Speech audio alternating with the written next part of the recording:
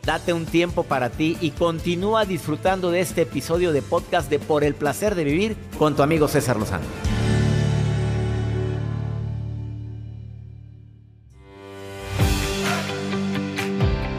¿Cómo saber si estás dejando huella en este mundo? Claro que hay personas que han hecho obras maravillosas, hay personas que han dejado un legado tremendo. Steve Jobs, pues mira lo que dejó, todo un avance impresionante. Oye, murió con tanta lana con tanto dinero. ¿A quién le dejó todo, oye? Pues sí. A ver, investigame eso. a ver, ¿a quién le dejó el dinero? Oye, ah, mira, viene, ¿cuánto fue el legado de Steve Jobs? ¿Y a quién, se habrá, quién habrá heredado todo eso? Tenía hijos, no me acuerdo si tenía sus hijos. No me acuerdo. A ver, pues tuvo, tuvo, una enfermedad. Ella tenía una fortuna de más eh, valorada de 100 millones de dólares por el éxito de la marca a la que pues él lanzó, que impulsó. sí. Y bueno, pues él apreciaba ser rico, según dicen las noticias. Ah, sí, pero, ¿te acuerdas cómo se vestía? Muy sencillo. Con un jeans, playera eh, blanca o negra y nada más, punto. Nada más. Nada Muy inteligente. Muy brillante. Pero ¿a quién le dejó la fortuna? A ver, búscame eso. Yo estoy con el chisme a todo lo que... No sé por qué estaba pensando en eso. ¿Qué pasó con la herencia de Steve Jobs? Steve Jobs, perdón Después. Ay, Dios. Steve José. ¿A quién? Ándale. bueno, dice que han conseguido ya la mejor herencia de Steve Jobs. No dice. ¿Ves? Lo he estado buscando. No dice. ¿No dice a quién le dejó todo su legado? Estaba casado, soltero, viudo, divorciado, dejado, abandonado, tenía hijos, no sé. ¿Cómo que no dice? La exmujer de Steve Jobs ha preferido emplear su dinero ah. para causas más filantrópicas. O sea, la exmujer. La exmujer. Pero no estaba casado cuando murió. No. ¿No? No, Oye, investigamelo ahorita mientras yo doy esta nota. A ver, a ver, ¿estás dejando huella en los demás? ¿Cómo poder saber si estoy dejando huella? La gente te da las gracias por cómo le has ayudado en algún problema difícil que pasaron. Ve contestando sí o no. O sea, ahí hay alguien que dice, tú estuviste conmigo. O si no ha sido por ti, no te puedes. Y no nada más hablo de la lana, ¿eh? De un consejo, de un acompañamiento. Segundo, ¿las tareas que haces a menudo son de vital importancia para los demás? O sea, no es que seamos todos indispensables, pero si faltamos, van a batallar para cambiarme. Tercero, ¿alguna persona, amiga, amigo, te ha dicho que gracias a ti su vida fluye mejor? Y no eres terapeuta, ¿eh? Cuarto, ¿Crees que tienes cosas positivas que serían de valor para los demás? O sea, tú sientes que tus cualidades, tus características le, dan, le aportan valor a los demás, que tú sientes que iluminas un lugar al que llegas, que tus consejos, tus decisiones motivan a otros a que sigan adelante con esta aventura llamada vida. Si contestaste que sí, estás dejando una huella tremenda en los demás. Aparte, si dejas lana a alguien que lo necesita de tu familia, pues qué bueno. Pero hay gente que también está trabajando arduamente para dejar un legado, dejar... Pero pues ni lo disfrutan. Y ahí están. Tú estás dejando huella. ¿Cuántas contestaste que sí, Claro de que todas sí, estas, ¿cuántas? Todas. Todas. Estás dejando huella, tocando vidas. Huello, huella. Huello. La esencia y todo. Es que estoy recalcando la información que estábamos te compartiendo. Joel, te resbalaste. No, es que estaba revisando la información de Steve Jobs y sí, tiene cuatro hijas, tuvo cuatro ah. hijas. Y dentro de estas hijas, una es deportista, otra es escritora. Y bueno, pues eh, estas hijas pues son obviamente las privilegiadas, claro. Escritora, deportista. Escritora, deportista. Oye, Ya los otros no se especifican de ¿Y qué la esposa? La esposa, pues. Eh, Cuando estaba divorciado. tres con Lauren Powell, que es una de las eh, esposas, y otra que es. Eh, no, no mencionan aquí bien el dato, pero bueno, pues. Pero quedaron bien pesudas. Pero bien pesudas, claro. Y las niñas bien pesuditas también. Bendito Dios. Y hablando de niños, eh. yo les digo y les recomiendo que, papás, cuando les presten el celular a sus hijos, asegúrense que las cuentas de sus bancos, que las cuentas, sobre todo de las aplicaciones que nosotros tenemos, que podemos acceder nuestra tarjeta de crédito, estén bloqueadas y sobre todo para que ustedes estén tranquilos. Este caso que les comparto a continuación es acerca de un niño que abrió la aplicación bueno, fue una aplicación de comida rápida y el niño empezó a seleccionar hamburguesas, hamburguesas, hamburguesas, hamburguesas, pedir. llegaron a su domicilio 20 hamburguesas que el niño había solicitado para que pues obviamente llegaran a su casa cuando viven solamente tres personas, mamá, papá y el niño. Entonces, pues esta es la recomendación para aquellas personas que tenga, mijito, agarre el celular y usa. Y es que las aplicaciones de comida rápida llaman mucho la atención porque te ponen toda la fotografía, la pizza, la hamburguesa, la ensalada y pues a los niños se les antoja. Y él pidió todo y le llegó todo, 20, hamburguesas. Bueno, qué niño tan, qué niño tan, primero tan hambriento y segundo, este, tan, inteligente para ver cómo pedir cosas. Pues es que nada más es muy fácil, pícale, pues pícale, pícale, y, agrega al carrito y ponle y ponle. Y propina. Antes no, no se metió a, Amazon a comprar. otra cosa. A ver, yo quería unas bocinitas. ay, ay, ay. Yo quiero, imagínate. Y pícale. Y pícale, es nada más es de deslizar. Son las compras que de repente a veces estamos haciendo. Y, a ver, ah, sí, ya la compré. Y al ratito llorando con la tarjeta de crédito. Ya cuando te llega el estado de cuenta. Vamos a una muy breve pausa. Esto es por el placer de vivir. Ahorita volvemos. Nos encanta compartir contigo este programa. Más 52 81 28 610 170. Qué bueno que dejas huella en los demás.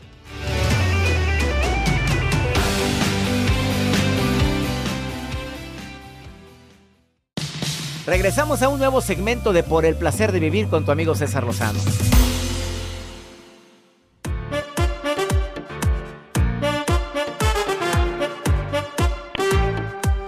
Una persona que deja huella en la vida de los demás es aquella persona que conecta emocionalmente con los demás. A ver, no es fácil conectar emocionalmente. Podría ser como que te oigo.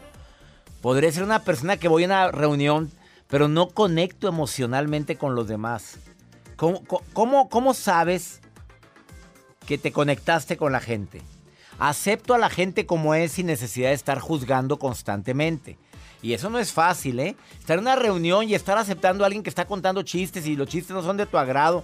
Te puedes parar irte a otro lado o no te queda de otra más que seguir oyendo. Puedes también decir, oye, que inapropiado. Ah, pero ya vas a, a causar cierto malestar probablemente.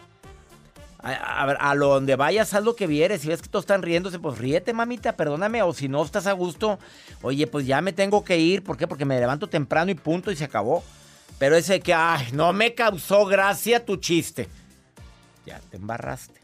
No intentes de imponer tus valores, tus creencias en alguien que no cree y te aseguro que vas a dejar huella en esa persona. Si él no cree en Dios y tú eres de la vela perpetua y tú eres de la cofradía del Espíritu Santo, qué bueno, viva su religión, respete las creencias de los demás y hasta ahí déjalo. Y no quiera ser la salvadora que viene a redimir a todos los pecadores en este planeta. Indaga, indaga lo que le apasiona a los demás y ten tema de conversación sobre eso que le apasiona, qué hobby tiene. En un lugar conoces a alguien y quieres agradar a las personas. Indaga cuáles son sus pasiones, sus hobbies, sus pasatiempos, lo que le mueve. Y si practicas el buen humor y sabes mantener una sonrisa en una conversación, que cuando no están hablando de cosas serias, obviamente, claro que vas a caer muy bien y vas a ser persona inolvidable y vas a dejar huella en la vida de los demás. Son cosas tan simples, pero que a veces nos complicamos la existencia con esto. Mi querida Liz, te saludo con gusto. Gracias por estar escuchando el programa, Liz. ¿Cómo estás? Hola, doctor. Qué gusto saludarte. Muy contenta y emocionada por escucharlo. Pues imagínate yo que... En esta interacción que siempre lo he escuchado, he ido a sus conferencias.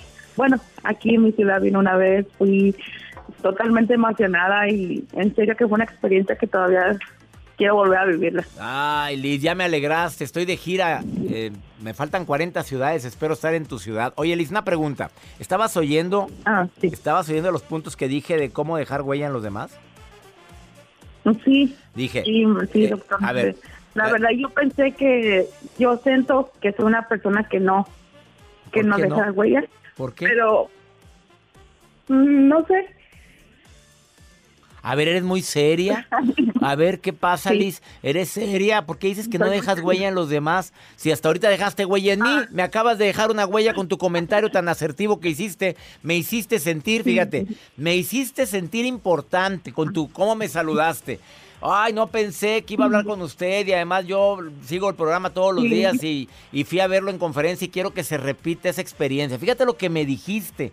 Una de las características que dejan huella es la gente que hace sentir bien a los demás. Tú me acabas de hacer sentir bien al aire. Doctor, sí. Ah, bueno, dentro del tema a veces yo no, yo como le digo, yo siento que yo no dejo huella, pero a veces cierta mis amigas, ay, mira, ¿te acuerdas cuando tuve ese problema y yo sentía que cuando me hablaste, ay, te doy gracias? Entonces ya ellas son las mismas personas que me dicen, ay, gracias, o me dicen, ay, este, no le hace lo que me pase, mientras que vaya contigo, sé que voy a salir adelante. Y es algo que yo no veo en mí. Sí. Sí, te entiendo. Mira, pero si ya hay gente, acuérdate los puntos que dije hace ratito, y, creo que tú vas a decir, para que veas que sí dejas huella, porque ya me dijiste uno de los puntos de la gente que deja huella. Eh, te, lo, los voy a repetir, pero tú me vas a contestar sí o no, mi querida Liz, ¿eh? ¿Ok? Ahí te va. ¿Las personas te dan las gracias porque les has ayudado con algún problema difícil? Sí. La segunda, ¿las tareas que haces a menudo son de importancia a los demás? ¿Lo que yo hago es muy importante para alguien? Sí.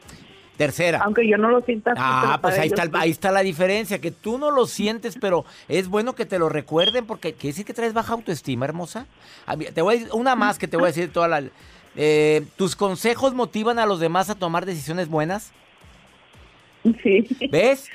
¿Ves? Cuando los estoy diciendo, cuando se los estoy diciendo yo la verdad, de todo corazón y por verla bien a mi amiga, por lo, por lo real son amigas, por con tal de verlas bien, eso es lo que les digo, pero cuando lo pongo en mí digo, ay, ah, dice las cosas y no las haces para ti.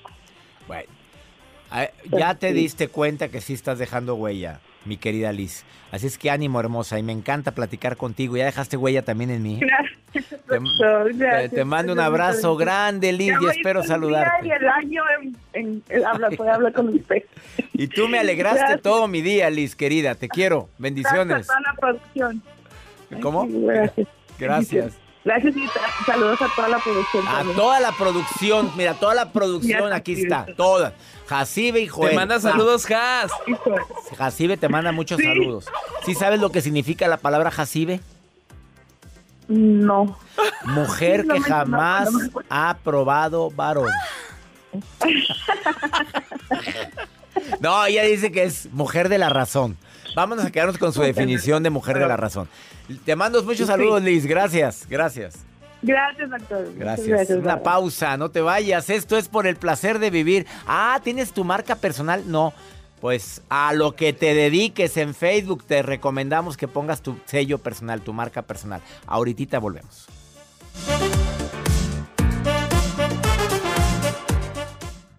Todo lo que pasa por el corazón se recuerda. Y en este podcast nos conectamos contigo. Sigue escuchando este episodio de Por el placer de vivir con tu amigo César Lozano.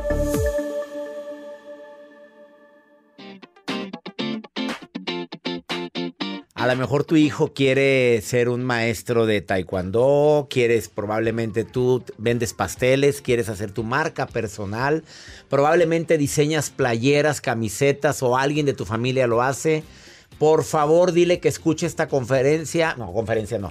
Escuche este tema, que es parte de una conferencia que tiene Jazz Contla, que es cómo crear tu marca personal, porque ella anda por todo México y por todo Estados Unidos ayudando a la gente con, con seminarios, conferencias de cómo crear tu marca personal. Somos marca todos. Todos somos marca personal. Oye, me acuerdo una, una amiga de mi esposa que tiene en su Facebook su logotipo, en su Instagram su logo también, pero es ama de casa, orgullosamente ama de casa y no vende nada. Oye, ¿por qué tienes, le dije Sandra, ¿por qué tienes logotipo? Ah, porque tengo, mi marca. Oye, pero lo dice con aquella seguridad. Claro, porque tu marca personal es darle fuerza a tu nombre y a tu apellido. Eso es lo que es, es sentirte orgulloso de quién eres. Tú eres César Lozano. ¿Verdad? Obviamente tú tienes tus productos, que es, por ejemplo, por el placer de vivir, pero hay muchas personas que simplemente son Margarita Peña y Margarita Peña, debajo de ella viene todo un concepto. Eso es una marca personal. Y tú sabías que ahorita de 10 personas, tres ya son marca personal, porque ya estamos entendiendo la fuerza que tiene. Solamente en redes sociales, flaco, imagínate, vende más ya una marca personal que una compañía. Mm, bebé. Está muy, muy de moda que tengamos ese nombre, ese apellido y que ya te dediques, como dices tú, a vender tus pasteles. Ya no le pones la pastelería El Arco Iris. No, viene el nombre de la señora. Claro. Juani, no, hoy también allá en, en, Torreón hay una que tiene nombre también de pastelitos. Oye, y, en Guadalajara. Claro. En, en, Estados Unidos viene el nombre de la, de la señora creadora de los su nombre y su apellido. Exacto. Porque es tu marca, eres tú, es como tu huella digital, esa no se va a repetir. Entonces, ¿qué puedes hacer para tener de verdad una marca personal exitosa en redes sociales? Número uno, conócete. Tú sabes que yo asesoro a muchas personas que están sacando su marca personal y ya celebridades. Y yo me he dado cuenta de una cosa, César. El que se conoce es exitoso. Mm. Pero de verdad, ¿sabes esas cosas que dices? Yo soy así. Yo, a mí no me gusta tal cosa. Por ejemplo, dime tú una cosa, César, que, que tú nunca harías. Que dices, no, no, porque eso, ni aunque me dieran 10 millones de dólares. Encuerarme en redes sociales jamás lo haría. Ahí está. Ya. Ahí está. Pero te conoces, sabes dónde está tu límite y aunque te dieran lo que te dieran, tú no lo harías. Aunque tengo que enseñar. No te no.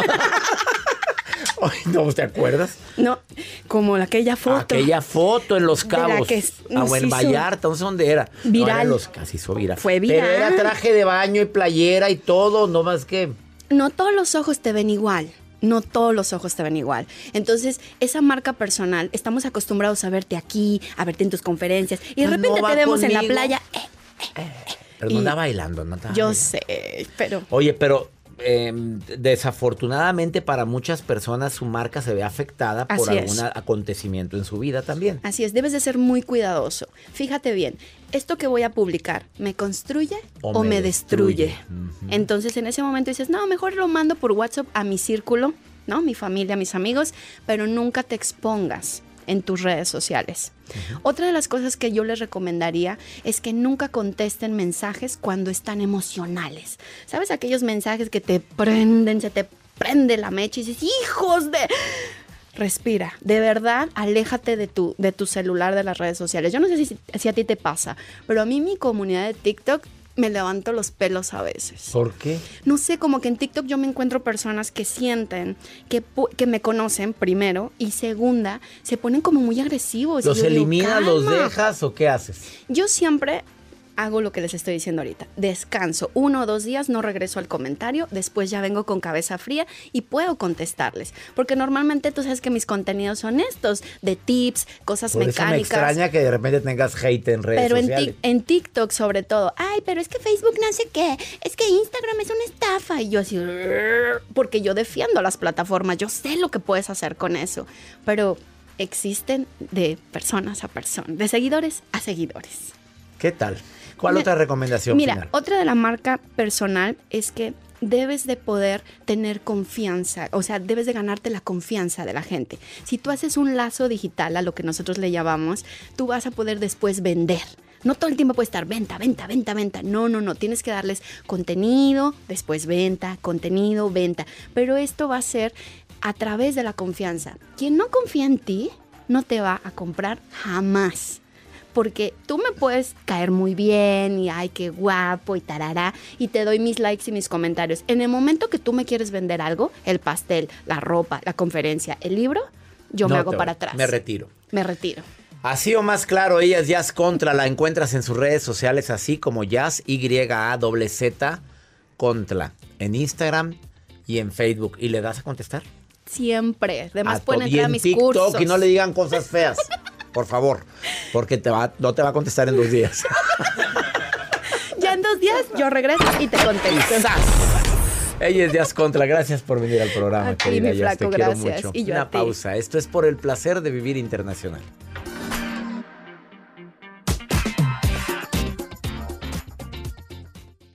Todo lo que pasa por el corazón se recuerda. Y en este podcast nos conectamos contigo. Sigue escuchando este episodio de Por el placer de vivir con tu amigo César Lozano.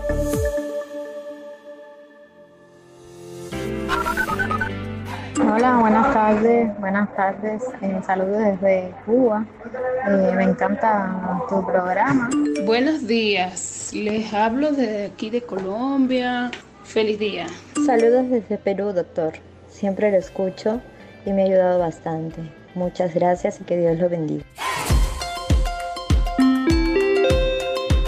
Cuba, Colombia, Perú. Bien internacional el programa. Muchísimas gracias porque no estamos al aire en señal abierta en ninguno de estos tres países.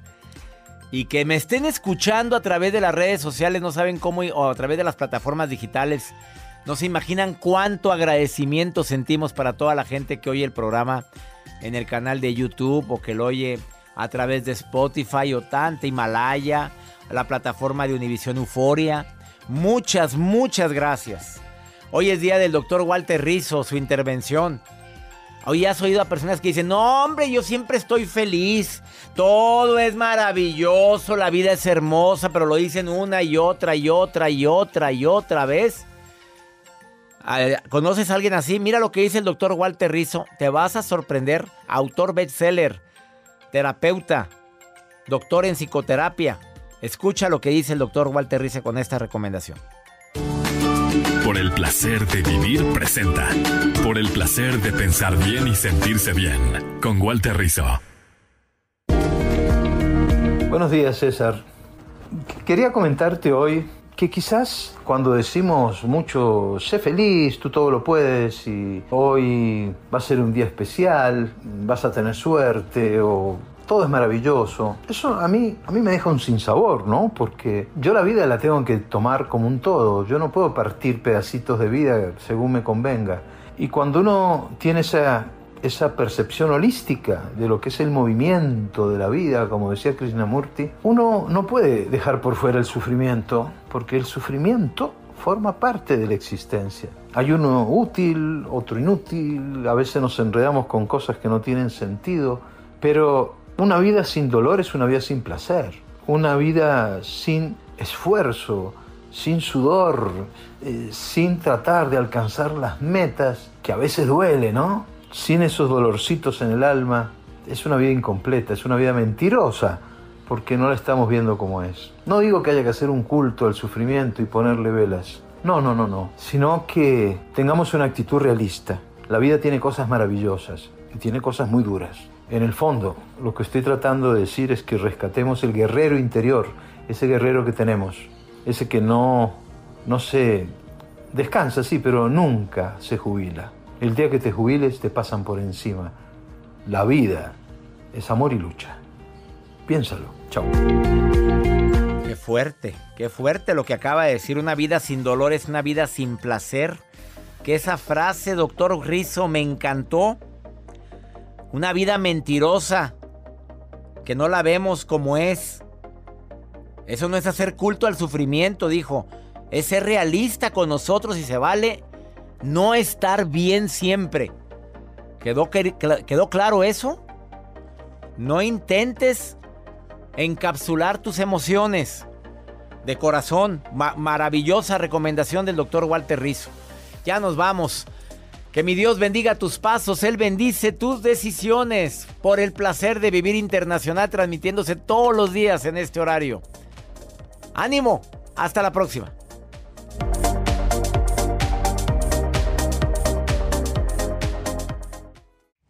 Gracias de todo corazón por preferir el podcast de Por el placer de vivir con tu amigo César Lozano. A cualquier hora puedes escuchar las mejores recomendaciones y técnicas para hacer de tu vida todo un placer. Suscríbete en Euforia App y disfruta todos los días de nuestros episodios pensados especialmente para ti y tu bienestar. Vive lo bueno y disfruta de un nuevo día compartiendo ideas positivas en nuestro podcast. Un contenido de Euforia Podcast, historias que van contigo.